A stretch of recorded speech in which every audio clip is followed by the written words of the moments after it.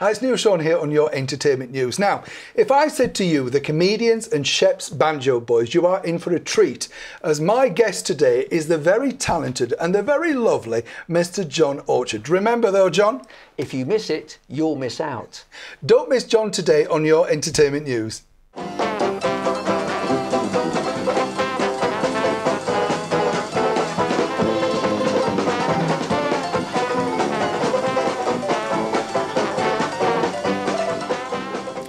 John, thank you so much for coming in today. Now, first, before we go any further, I want to know what's happening at the Museum of Comedy that we should all go and see. What's the big news? The big news is that on the 29th of October, we've got a 2 pm show at the Museum of Comedy Theatre in Bloomsbury, London, in London's glittering West End. the West End, but you're used to that. But yes, what, what's it about? What, well, it's celebrating uh, the 50th anniversary of a band that I play with and used to play with and still play with. 50 years in show business, which obviously is a fantastic landmark. Yeah. And the name of the band? The band is Shep's Banjo Boys. Which, of course, found fame. I, you know, when you say 50 years, can you believe it's 50? Do you know what I mean? I look and think, because I've loved your shows and I, I, watched everything, you know, the lovely Johnny Hamp put together. And I remember you, I think I saw, would I have seen you at the North Pier? Yes, in Blackpool indeed. as a kid, yeah, yeah. Yeah, the band was at the North Pier yeah, Blackpool, yeah. yeah, yeah. What was that like? Talk to me about that. when Because you, are now big, you're on telly, and this is in a time when you're on telly, and, you know, people are watching their millions. Were you nervous about that, first of all, when you, you realised how many people were watching? Well, the first time we did a show for Johnny Hamp on the North Pier, it was a show called Road Show, which was actually at six o'clock in the, uh, in the evening. Oh, this was before we got the comedians with Johnny Hamp. And he put us there, and at the end of the pier, you kind of assume that everybody's going to be organised. We got yeah. to the end of the pier, they put us on a bandstand. Now, if you're the trombone player, you've got your trombone. If you're oh, the sousaphone yeah. player, you've got your sousaphone. If you're a banjo player, you've got your banjo. Yeah. If you are a drummer, then you take your drum kit with you. But if you're a piano player, you kind of expect there's going to be a piano there. We got to the end of the North Pier, no, no piano. piano. Luckily, the record we were promoting was our first single called Half Time Whistle. So I pulled a penny whistle out of my pocket and I mimed to a penny whistle, whereas normally I'm the piano player. So that oh, was yeah. that's my recollection of the North Pier in Blackpool. And nobody noticed that you didn't have a piano. Seemingly not. Seemingly not. Don't you love that though? That, wonderful. That's showbiz, isn't it? You know, because you think, oh gosh, you know, nobody's brought the, and you think, oh, what we're going to do. I know, yeah. And you, you pull something out of the hat. In this yeah. case, the penny whistle from the inside pocket. Yeah. and then you went into the, the famous Pier Theatre, I presume, and then we were at the Palladium at the time. Oh, so you did the Palladium? Yeah, sorry. So what's that like then? You know, you've come from where you've started, and now you're at the world famous London Palladium. What was your first thoughts when they told you that's where you were going? Well, as a child playing the piano back in 1954, when I first started having piano lessons at the age of nine, quite soon after I started, a standard line that my parents and my family and my friends would say, oh, one day we're going to see you at the London Palladium, one day we're going to see you on the telly. And of course, as a kid, it goes over your head. You can't, you kind of think to yourself, really? the telly, the Palladium. this is at a time when I'm watching Liberace on the television oh, on a yeah. Sunday afternoon and thinking, well, he's the kind of guy that would be on the telly. I'd never be on the yeah. telly. He's the kind of guy that would top the bill at the London Palladium, but I would never do. Because he's huge at this point, though, isn't oh, he? marvellous, Massive. absolutely. And if I think about my influences as a piano player in the 1950s, it was Russ Conway and Liberace. Oh, yeah. So yeah. people used to say to me, "You'll be at the Palladium one day. You'll be on the telly." Yeah. So when I actually did find out that the band were going to be playing at the London Palladium, of course, I just thought it's just, just like a dream come true. Wow. Marvellous. And the fascinating thing was, we'd never done a theatre stage tour before in the UK. And when it came into London, we were doing 13 shows a week. And That's a days, big commitment, though, isn't it? Well, it is. I mean, you were yeah. doing 6.15 and 8.45, so twice nightly. Yeah. And then on a Saturday, 2 o'clock, 5 o'clock and 8 o'clock. Gosh. And the thing was, on a Saturday, you got to the point where you thought, I don't know where I am. You didn't know, you didn't know which show you were in the middle of because yeah. you're doing the show like on a rotation. Yeah. Yeah, so, I don't think people appreciate that, do they? Actually, John, I, I, know exactly what you mean. When you're in a show like that, and and you come, you think to yourself, what what is this Wednesday matinee? Is this Thursday? I'm not quite sure you where lose we're all doing. sense so, of time. And you're in the theatre early. People think you like rock up at 6:15 and just get on your piano, no. but you have to be there a couple of hours before, a bit of sound check every day. That's right. Meet everybody else, get together. Then the producer's got to get you on there and That's get right. you going. Yeah. I mean, when you walk down that famous door, though and go through the stage door that Yeah, played. yeah. That must have been, you know, you must have thought if they could see me now, that type of thing. I you know. It was just. I mean, I was 22 at the time, Yeah. so you know. A boy, really. I yeah. suppose so. Well, we were all, all seven members of Shep's Banjo Boys. We were all in our 20s at that stage. But yes, just to. I mean, we knew that it was the world's greatest variety theatre. As children, in our, in our teenage years, we'd seen Sunday Night at the London Palladium, so we knew the theatre so well. Yeah. Everybody knows the Palladium. Yeah. And then to actually be on that stage with 2,300 people. 13 times a week. I, I did the maths the other day. We did, we did six months there. Which And is we- unheard of now, isn't it? For, for that type of show. Do you know what I mean? I mean, it's essentially just a great variety show with Yeah. you and all these these guys that can make people laugh. I mean, you could. I don't think you could find those sort of comedians today. No, no. Well, actually, they would play a big arena on their own. They wouldn't want to be in the show with six other comedians, Yeah, I suppose. actually, that's a good idea. Yeah, never thought of that. You wouldn't, would you? You wouldn't get them down. No. But anyway, I just put it into the calculator and I thought 2,300 seats times 13 shows a week times six months. We played to over three quarters of a million people in that summer season in 1972. Wow. So that is a lot of people. Yeah. A lot of people. it was, a, it was a show that sold very well. So going right back though, Yeah. you, you talk about um, you're a young boy in the 50s, you're learning piano. Did, were your family musical or how did all, you know, did you just find it yourself? Well, it used to be the case that I used to go to because I lived in Harrow, actually, in northwest London. Oh, posh, yeah. Well, it, yeah. Uh, we must have lived in the rough part, I think. and I used to go to my grandmother's house. She lived in Kingsbury, which is near Harrow, and she had a piano. And every time I went to the house, I get on the piano and tinkle away there. Mm. And in the end, she said, "Could you take that piano to your house, please?" Not exactly inspiring, is it? no. But I had lessons and then took exams, and then all of a sudden I was playing for amateur talent shows and winning those, which was lovely, and then amateur dramatic societies, writing pantomimes as a teenager. But never knowing, of course, that I was going to actually, in the end, within probably five years, get into show business. Did you, but when you were doing that, was that your, did you think though, John, that you could make a living out of this? So was there another plan B that you thought, I'd like to do this, but I might end up working in a bank or it, do you know what I mean? Yeah, well, I did end up being just an accounts clerk because I, you know, you can't see at that stage a way to get into show business. And Yeah. I always think that these things are just a series of good luck moments, you know. They and, are. and, and I just had a couple of coincidental moments that happened that got me into show business. And what were they? What was the, the moment that you Well, thought, oh, I- this is a good point? What had happened was I'd become a computer programmer, which in the 1960s was quite a thing. Yeah. This is when computers were the size of a fridge instead of something Yeah. you could put in your inside pocket. Yeah. And uh, I went to Manchester. I found myself in Manchester working for a pharmaceutical company as a computer programmer. I'm no sooner in Manchester and I open up the Manchester Evening News, as we always did, those of us that were musicians at heart. We always bought the Manchester Evening News on a Thursday evening because on a Thursday you had the adverts under bands, musicians and Oh, artists offering work. And in there it said pianists wanted for Shep's Banjo Boys. And I'd been to the venue, which is called the Golden Garter Yeah. in Manchester, where I'd been to see the band actually not so long ago. And this was only four months after the venue had opened. Oh, And I thought, actually, I could do that because they play the old ragtime sing along stuff. And that's the kind of stuff that I do probably better than anything else. So I went for the audition, sneaked away in my lunch hour from the day job, had the You did though in those days, did you? Because first of all, you don't really want to tell people in case it's a failure. Mm. You know, there's that side of it. But then the other side of it, you're thinking if they think I'm going to leave my job, they might fire you. So you've got that level as well that you think, well, I'll play along with that. Yeah. So you came back from your your lunch break. Did you think you'd done well, or you know, how did it end the audition? He told me I got the job there and then. I was auditioned by Oh, by Will Shepherd, who was the uh, the father of the two other boys that were playing Yeah. banjo in the band. And Will just said to me, "Can you play Alexander's ragtime band?" I said, "What key do you want it in?" He played his banjo, I played the piano, and I got the job. Wow. He said to me, "Are you a member of Equity?" I didn't even know what Equity was then. I said, "No." He said, uh, "You'll have a membership card by Monday."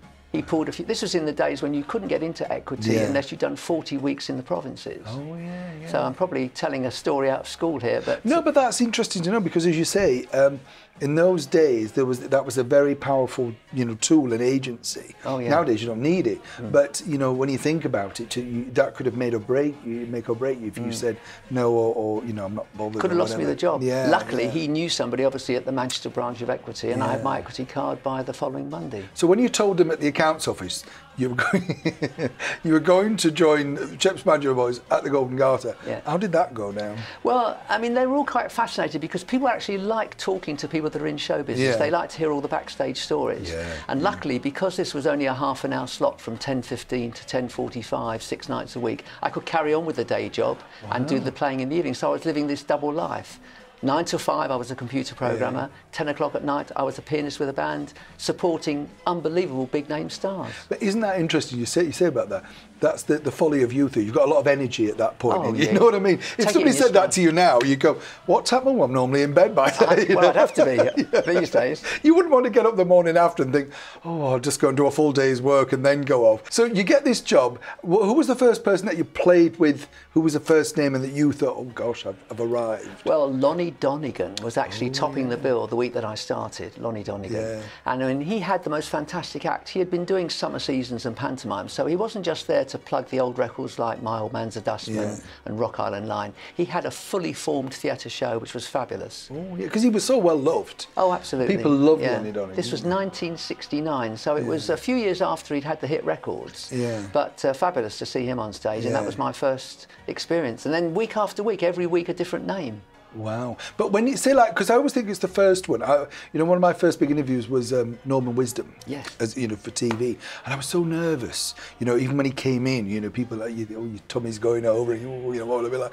Uh, so when you saw him up close, was Lonnie everything you thought a star should be? Because I always think that, don't you? You think, are they really? You know what I mean? So- Yeah, I know. Well, we were lucky because our dressing room at the Golden Garter was on way, on the way from the Star. The Star dressing room meant that the top of the bill act had to walk past our dressing room to get to the oh. stage, and luckily the two banjo players, the, sorry, the three banjo players, the Shepherd boys and their dad Will, they ran a photographic business. They had a very successful photography business, oh. and they had the rights at the Golden Garter the sole rights to shoot customers' pictures. So, of course, we had professional pho- photographers on the premises. Oh. This meant that whenever the star of the week would walk past our dressing room, either way on the way to the stage to do their act or on the way back after doing their hour, hour on stage, Yeah. we would try and grab them and say, Can we have a photo? So, we've got this wonderful archive of these lovely black and white photographs professionally taken, Yeah. which, of course, are wonderful to look back on. I mean, eh, you, you say that, and that is, as you say, absolutely beautiful because it's moments in time. Mm. You know, I mean, I, you, you've sent some lovely pictures to us, and we, we recently just lost the wonderful Bruce, of course. Uh, and you know, it's hard to imagine because people know you in career sections, and the audience probably watching. A lot of people know that he was a massive variety star, but a lot of people know him as the host of Strictly. But Yes. when he came to your club, he's now he's going back into his one man show, isn't he? His one man act. absolutely. What was he like then? How did he go down? You know, with, with the just audience. tore the place apart. And it's interesting to note that on the opening night, the 7th of October 1968, Trust House Forte, who owned the Golden Garter and also the Talk of the Town in London, because it was Manchester's sister club to Yeah. the Talk of the Town, they chose Bruce Forsyth as the opening act on that particular week, and the whole thing was sold out. He just tore the place apart. Fantastic. What did he? What can you remember? What he did? Because I know he, he played virtually everything but the kitchen sing, didn't he? Yeah. He could do it. I thought Bruce was just he could do anything. Yeah. You know. Well, of course, he was a sensational piano player. Absolutely Yeah. brilliant. He, as soon as he could, he got off that stage and got down onto the dance floor and started working the tables at the, in the front row. Because Yeah. being a nightclub, you're very close to the audience. You haven't got this chasm, which is the orchestra pit between you and the audience. And he was down there with his microphone, talking to the people in the audience, and he was doing his patter, you know. so he was yeah. doing his jokes, and then of course he'd go into a tap dance. Fabulous dancer. yeah, he was a brilliant. So dancer, he'd sing, he'd play the piano, he'd tap Yeah. dance. I mean, he was just a, a first-rate entertainer, and as you say, very sadly lost him very recently. The Golden Garter. I didn't realise this until looking at it, but it was the sister to the Talk of the Town. Yeah. Why did they pick? Um, you know, the area that it was in. Was it Wythenshawe? This was Why did they, You know, I, I don't mean that because you know I've been to Manchester, but it's it's an interesting thing, is it? Because we had all these clubs, you know, turning up. Like um, we had Batley Variety, yeah. Uh, Wakefield Theatre Club, Indeed. and then there were quite a few, weren't they? You know, they're not as big, but like in Leeds and you know places like that, and they're all vying for top name. Yes. acts to come along. Absolutely. So you uh, lucky because I presume they could do a deal with Talk of the Town. And then they'd have to do a week or something in Manchester. Very often, flip the- over. Very often, yeah. The Yeah. star that just did maybe they would perhaps do a month at the Talk of the Town, Yeah. but then they come and do a week or two for us at Yeah. the, the Golden Garter in Manchester. But I just think it was a lucky situation because they actually had. I mean, I love the the difference between what happened in London. Yeah. Picture the scene. You've got the Hippodrome Theatre, the Frank Matcham Yeah, beautiful. Yeah, Yeah. beautiful Hippodrome Theatre that was built in 1900 in Leicester Square, and they decided in 1958 that they're going to turn this into the Talk of the Town. Yeah. Fast forward nine years to 1968, 1967, 68 in Manchester, and they haven't got a listed building that they can do something with in the city centre. They find a 10 pin bowling alley that's in the flight path of Manchester Airport in the middle of a council estate, but it's got the potential. Yeah. I mean, architecturally from the outside, it's got nothing to commend it, but once you got inside, this was a place that they put on seven separate levels to give everybody oh. a fantastic view. It had twice the capacity of the Talk of the Town. It could seat 1,400 people. They went in there, they got their drinks, they got a meal, they could dance, they could see the support act, and they could see this big name at 11 o'clock in the evening. Yeah. And you were in the middle of it all. We were there. We used to go on half an hour before the top of the bill act. Our job was to warm the audience up. Yeah. I mean, the band got the gig first of all, thinking they were only going to be there for a week, but in the end, stayed for nearly four years. The band did nearly no more than 1,000 shows. Wow! So we saw everybody come and go. It was fabulous. Yeah. And and after you you know um, your first big star, uh, Lonnie Donegan. Yeah. Who, who were the ones that really made you know resonated with you that you thought oh yeah they are you you you know I always think you know John there's a point where you think. I know why you're a star. Yes. Do you know what I mean? Yes. There are certain people and you Yes, think, yes. yeah, I can see why you are big. Yes. Um, who were the ones for you that you remember and you thought, oh yeah, these were good? It's the confidence when they went on stage. Yeah. One is a classic example. It has to be Tommy Cooper. Oh, lovely. Yeah. But people don't know that before the curtain opened, he meticulously would be setting up these huge trestle tables. He probably had three trestle tables across the stage, absolutely cluttered with all of his tricks and gags. And he would go through and make sure everything was in the right place. Of course, when the act began, it was all designed to make it look like he didn't know what was happening next. That's right.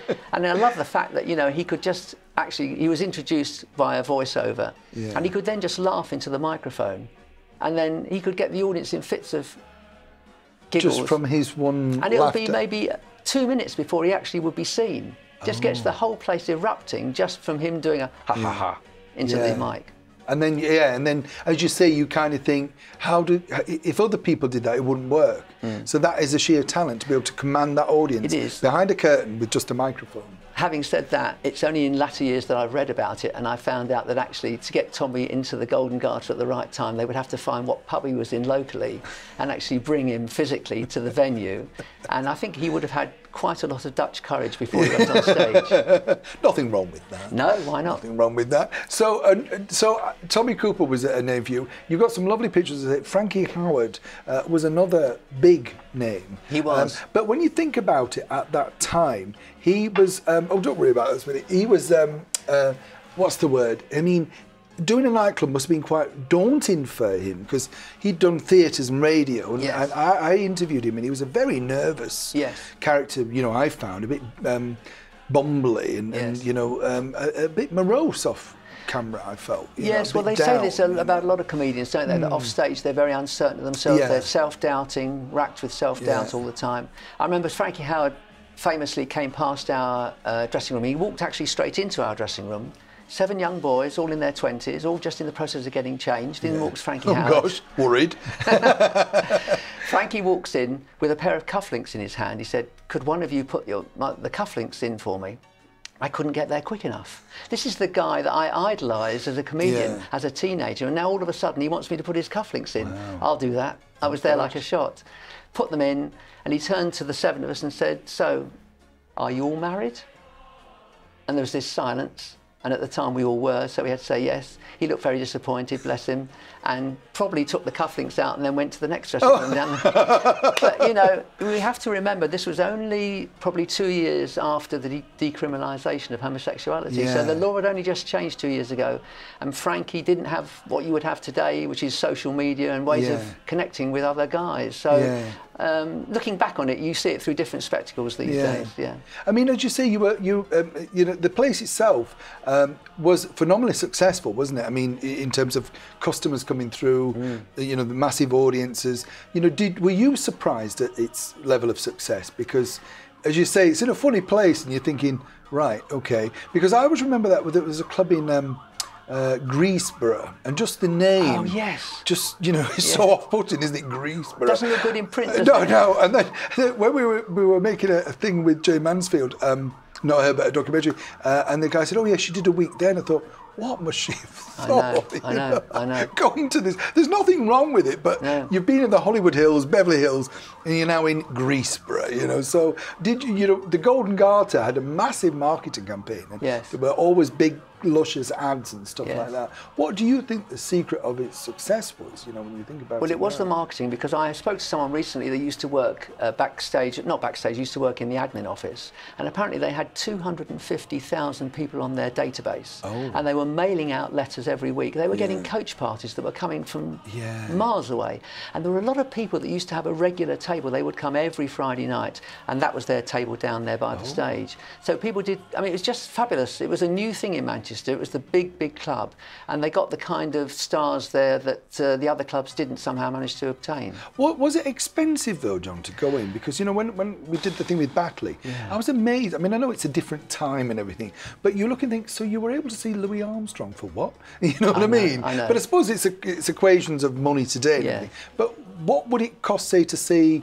I don't know, like Frankie Vaughan. What would Yeah. that have been in that Well, um, if you saw Frankie Vaughan, uh, it would probably be 75p in today's money, or maybe a pound.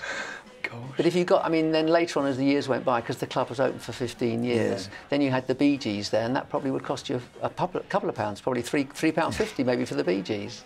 Not bad though, is it? Of course, the Bee Gees were from Manchester originally, weren't they? So they would have gone down a storm. Yeah, uh, imagine in- so. Yeah, very Yeah, clever yeah, actually by them. yeah. I mean, you've also got uh, the, the pictures that you sent us. They say are lovely. Um, one of my, my favourites, who we've been lucky enough to interview here, is uh, Helen Shapiro. Oh, yes. Now I love her. I think she's got a fabulous, uh, you know, very individual voice. Mm. You know, even today I think she looks great. And, you know, she's a lovely lady.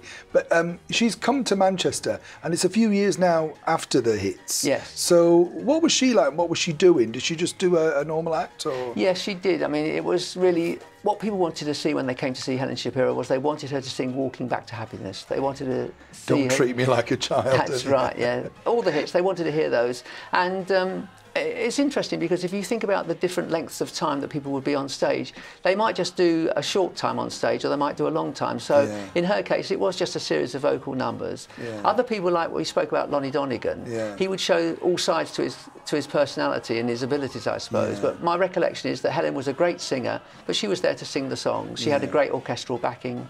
And she sang the songs, and people loved it. And she kept the hits for the last couple of minutes in the act. Of course, she did. Yeah. Yeah. Oh no, that sounds nice. I mean, did I read right? Was Shirley Bassey going to come and then she didn't turn up? What happened there? Because she was big in Batley. I remember. I remember as a kid seeing. You know, we were talking about the paper ads, and when she was in Batley, they, they used to have a full page. You know. Mm. Yeah. And I remember my dad saying, "Oh, you know, uh, it's very expensive to see Shirley Bassey." You know what I mean? And Yeah. when you're a kid, you think, "Is it?" Yeah. you know, like Yeah. you're not that bothered really. But what did did she not turn up, or what was the deal? I What mean- happened was that Shirley Bassey was going to come to the Golden Garter. This was just the biggest thing that had ever happened. This was at a time when you were paying 75p to get in. Now the tickets were going to cost you two pounds. Yeah. So Oh, a big So that was a lot of money, actually. In Yeah, those yeah, days, yeah. yeah. right. So um, our drummer in the band, who was quite an entrepreneur, thought I'm going to make a killing here, and he bought up a whole load of tickets at two pounds. You know where this is going, don't you? Poor man. And of course, suddenly it's sold out for the week. Then she decides she's going to do a fortnight. So then he buys some more tickets for the second week. So now it's absolutely sold out. Bear in mind that we're talking about 8,400 seats per week. So she's selling out 16,000, 17,000 tickets, all been sold. And a lot of them have been, bought by our drummer. He's been borrowing money left, right, and centre to buy as many of these tickets as he can because he knows he can sell them at probably four times the Yeah. price. And then the news comes through, the advert goes into the Manchester Evening News. It is with regret that we announce that Miss Bassey will not be appearing due to circumstances beyond hers and our control. We never find out why Shirley didn't make the first week, but someone's got to fill in. So they got the big star of the year who had just done the Royal Variety Show, which was Freddie Starr. Oh, he's- I love Freddie Starr. He was great. Very clever. and he yeah. was really at his prime at that point. Yeah. Fabulous, doing all the impressions and everything. And in fact, people, because you you could be entitled to a cancellation fee, you could be entitled to get your money back. you could be entitled to have a refund if you weren't happy about seeing Freddie Starr. But people had seen him on the Royal Variety Show; they knew it was going to be a great night. And so to come to. Manchester, great. Yeah, Yeah, that's right. Yeah.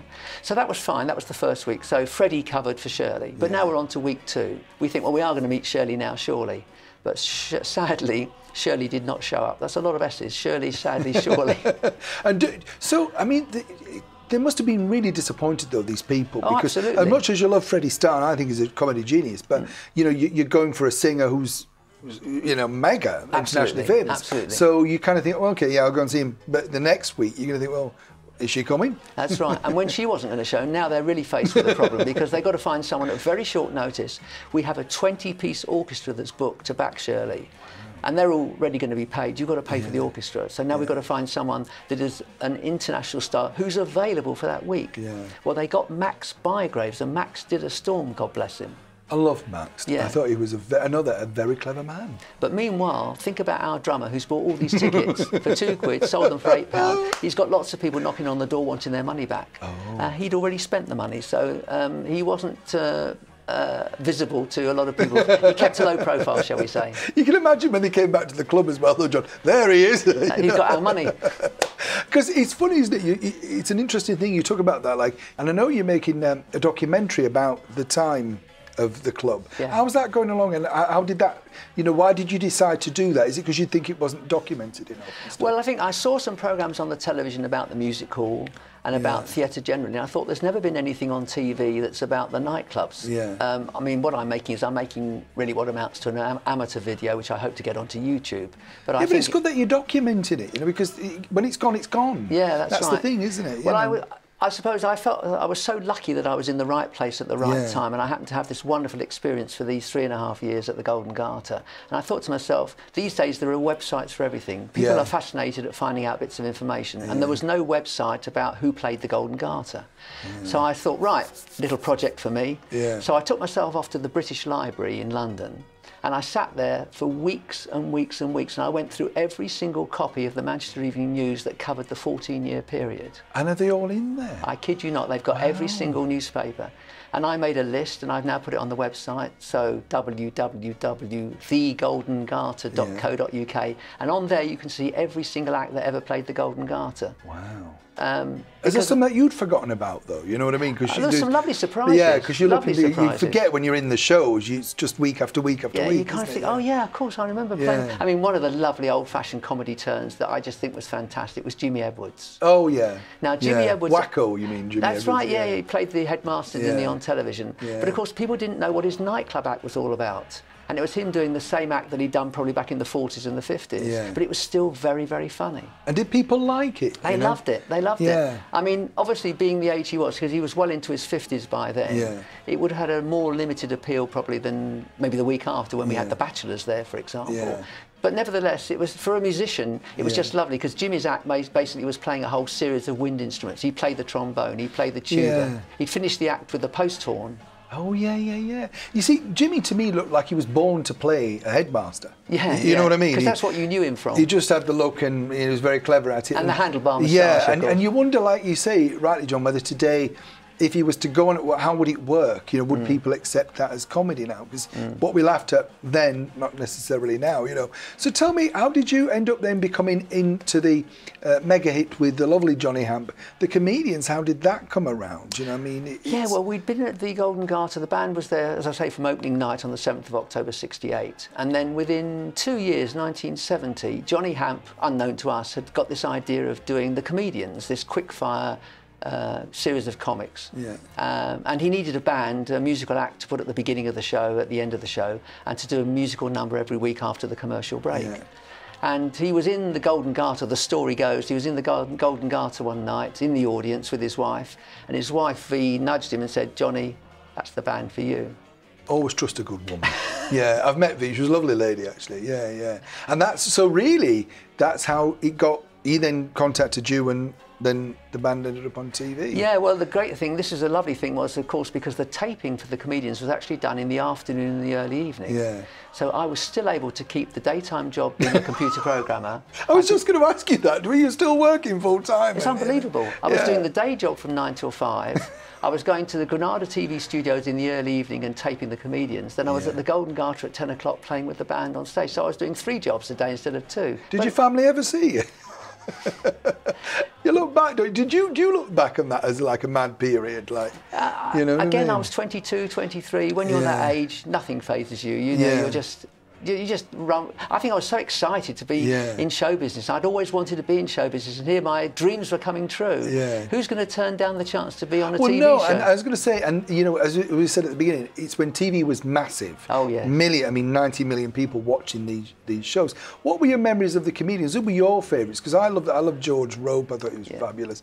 Um, I love Ken Goodwin. Ken Goodwin could make you laugh because he was laughing. Yes. it's like what you said about Yes, Tommy. yes. He just came on giggling, and you're laughing. You think, I don't know why. It's very but interesting, it's very, isn't it? very Because funny. if you you, think about some of the comedians today, like Jack Dee, for example, his gimmick is that he'll come on and he'll tell jokes, but he'll keep a straight face. In the old days, so do we when he's finished, but yeah. Sorry, Jack. in the old days, um, it wasn't unusual for the comedian to laugh at the end of the joke. Yeah. But I think it was an interesting technique because if the joke didn't go well, there wasn't an awful silence because the comic Yeah. himself was laughing into the microphone. Yeah. In Ken's case, his, his gags were great because they were so much down to earth, basic humour that people just absolutely adored. And Ken was a particular favourite of mine. Yeah. Did you like Charlie Williams? Charlie was him? lovely. Charlie was fabulous. He was not. I know it sounds un PC today, but to hear a black man speaking with such a broad accent, It was very incongruous. it was just wasn't weird, it? wasn't it? Yeah. You'd look at him thinking, "What?" Yeah. You know, like. and that was part of the charm, I think. Yeah. Yeah. absolutely part of the charm because we knew exactly everything he was saying. He was Yeah. Speaking with an accent that was very, very familiar Yeah. to us. Yes. And, and now, and, and in some of his comedy, I, I read something recently. and They said, "Oh, you know, some so on PC." It's funny's funny. I think you know, so. it's ju- I the guy so. was just funny. Yeah. I thought that um, all of the. I was lucky enough to see some of the shows when Johnny put them together uh, at the Winter Gardens about 10, 12 years ago now, Yeah. 2006 something. And um, I, you know, when you look at people like Bernard, Bernard um, Manning, to me, uh, whatever you thought was a comedy genius. Oh, he could yes. go out and he could just grab that audience. Now, the, he was a character. Mm. It's a bit like you, you know, when you're playing sing along, don't you know? You are a character. You're not the character when you're off stage. You, you know, so I think people confuse that with Bernard, and I found him to be very warm, funny, Mm. Yes. very kind man, Yes. very very Yes. kind, Yes. but just didn't want it going out there Yeah. that he was kind. I you know, I know. Did a lot of work for charity. Yeah. But people took what they saw on the screen and thought that was the real person. And what was Johnny Hamp like as a? Because to me, I think um, oh, John or Johnny Hamper, whichever you want to call him, he's so underrated as what he did for comedy, for variety in that period. You know, I Mm. mean, I've been lucky enough to meet him. I thought he was a lovely man. Met his, his wife Fee, and but you know, when you think about it, he created many things that have lasted. Absolutely. And, and loved Yeah. for so many years. I love the wheel tappers and shunters because we've all been there, haven't we? I've been to a club like that, and uh, you know, he said they had real pies, and Mm. you know, and they, they'd have a bit of a booze to get them flowing. You know, Yeah, the Johnny pies have was come. clever. Yeah, Neil, the pies have come. Put plenty of pepper on because they've come on their own. yeah. They were terrible, weren't they? And when you went into these clubs, uh, the concert secretaries and stuff, um, I was lucky enough to go with some, some of these with my mum and dad, and they were like Colin Crompton. Yes, They were like that. You Now know? you asked earlier on about who I particularly was fa- favourite, who were favourite comics of mine, and Colin was a sweetie. Oh, yeah. he was absolutely lovely. Loved him. Very, very generous man. If you were ever out with Colin, he had to buy the drinks for everybody. Oh, He was just very, very generous. Yeah, Yeah. very, very generous. And yet not remembered as much today as the others. Do you know what I mean? when No, you think no. of comedians, you, you everybody remembers with affection Charlie and Ken and Bernard. Yeah.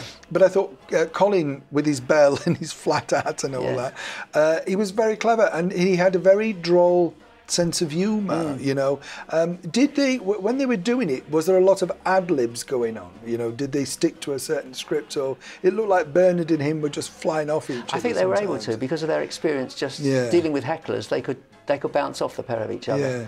Maybe the reason that Colin didn't become maybe the reason that Colin didn't become as big as some of the others was because he got the wheel tappers and shunters with Bernard. Yeah. But let's look at the number of comedians that went on to host their own game shows that were on the comedians. For example, Les Dennis got Family Fortunes. Yeah. Jim Bowen got Bullseye. Oh yeah, yeah, yeah. Uh, Roy Walker got Catchphrase. Yeah, love Roy. Yeah. Brilliant. Yeah. Mike Reid got Run Around on Yeah. children's TV. Which we loved as kids. I remember Absolutely, that. Yeah, yeah. Um, there are others that were. Yeah, I mean, you're right. It was a springboard to fame for a lot of people. Mm. D- You know, for you, you were saying before we came on air that um, I've forgotten you'd made records. You know, like I mean, you've got albums and stuff like that, and you're trying to you want to put those out on CD now, and I think they would go well. Mm. Um, and you know, but with the the albums themselves, can you remember making them and stuff like that? I mean, Well, I can. One particular one we did was for Chappells. It was a music library LP. So this is making music that they will use as background music in films and on television. Oh, right. And not ones that were sold over the counter. And we came down on the train from Manchester and recorded all 10 tracks in the one day and then back on the train because we had to be on stage at the Golden Garter at Can you 10:15. imagine doing that today? Do you Well, know what I mean? how long does it take to make an LP say, these days? In terms of an album, that's what I love when you talk about. You know, we meet some lovely people from the golden days of rock and roll and stuff, and they say, "Oh, you know, Tommy Steele said, oh, we did four tracks in an afternoon." You know, Yeah. you think that's almost an album. You know? Yeah, so, right. so you came down, you, you you made it, and then you went back. Yeah. So that's what I'm saying. It must have been slightly a blur in certain things because you're working very hard, Yes. and you're doing exciting things, and then going into Granada TV. So when you were going back in your day job and you've sort of been in Granada TV, I bet everybody said, "Oh, what, who did you see? What Well, was of course, it like?" they all want to know. They because they are already read in the Manchester Evening News who's the star of the week, so they want all the backstage gossip. Gossip. What is Moira Anderson really like? Loved her. Yeah, Stars she- on Sunday. She was lovely. Yeah. Yeah. Although Moira, bless her, she had a little bit of a record at the Golden Garter. Oh. We used to, just for fun, put the stopwatch on the top of the bill acts. We used to watch how long they do. Ken Dodd, for example, there's a good example. Now, if Ken Dodd was on stage, you mustn't expect to leave the theatre till two o'clock in the morning. Um, and in fact, there would be somebody sitting in the wings, not timing with a stopwatch, but using a calendar. Which is an old Bob Monkhouse gag. true, Moira yeah. Anderson, at the other end of the scale, did 23 minutes and she was gone. But of course, what a fantastic 23 minutes, Yeah. very, very concise. If I'd been in the audience, I think I would have felt a bit shortchanged at 23 Yeah. minutes. I think I'd expect 45 probably as a minimum. Yeah, yeah, you're right. Actually, I think people because of then, you know, people have. Um, it's hard to explain, but when you're in those clubs, they're, they're giving their hard-earned money from a week's, you know, work in maybe a factory or something. Yeah. So they want value. It's mm. not like you know today where a celebrity can go on for ten minutes, do a couple of songs, and go. They've paid their money, haven't Oh they? And they're want buying their, booze. They and, want it, you know. yeah. And interestingly, Moira had a little bit of a technical problem at the theatre. I mean, the orchestra, which was a 10-piece band, had been augmented up to a 12-piece. So she had all the dots there, the professional musicians, conductor, who decided that instead of using his hand to conduct the orchestra, he would have a baton. Okay. And so there's Derek Butterworth with his augmented show band, Moira Anderson centre stage, and they'd actually flown in some scenery as well. So oh. they'd really gone to town. Now the only problem was that it was very cramped on this stage, and I as, can Der- imagine. as Derek lifted his arm to conduct the band, his elbow caught the scenery, which started to move backwards and forwards. Oh. So Moira knows that she's got the audience in fits of laughter and she can't work out why. Yeah. The scenery is going backwards and forwards. The musicians are losing, losing their place in their dots. She actually stopped the show. She said, Well, that was the rehearsal, now we'll do it properly. That was on the Monday night, so I think it went downhill on that particular week, sadly. I mean, you, a lovely picture you sent through of um, one of my favourites was uh, Frankie Vaughan. Oh, I Frankie. mean, I, I, to me, he was just such a class act, wasn't Yes, he? yes. Um, I, it always baffled me. I was lucky enough to, to meet and interview him, but I always remember he was talking about being in a film with Marilyn Monroe. Hmm. And I always remember thinking, and he said, and the next year I was in summer season in Blackpool. And I thought, how does that work? I You know, what lo- I mean? lovely contrast, isn't it? but what was he like? Because he was very much to me a theatrical performer. What was he like in a nightclub environment? He was then? just brilliant. I mean, he had a very, very polished stage act, and Mm. that was the kind of act that transferred perfectly from a theatre to a nightclub. The only difference was instead of having the musicians in a pit in front of him, he had the musicians behind him on stage. But the act, I'm sure, was exactly the same. He knew exactly how to play the audience. He knew that they wanted "Give Me the Moonlight" as Yeah, the last and number, the kick, yeah. and the kick, of course, and the cane and the Yeah. top hat. So they got all of that with Frankie Vaughan. Lovely story about Frankie that sticks in my mind. Bear in mind, we've got 1,400 seats to fill for six nights, 8,400 seats. It's a mm. lot of seats to yeah. sell. For, in an area, it is. Yeah. Yeah, yeah. Even though there were coach parties coming in and these people that had their own table every week. But nevertheless, there were weeks when things were a little bit quiet. And uh, Frankie, Frankie, bless him, had this lovely expression which I've used ever since. I heard somebody say to me, if Frankie was playing the club, he'd ask how the business was, and if it was a bit quiet, he'd say, paper the room, paper the room, which of course meant give comps out and Yeah. get uh, get people in every seat, whatever it took. John, thank you so much for being my guest today. I really enjoyed myself. Thank you so much. Thank you.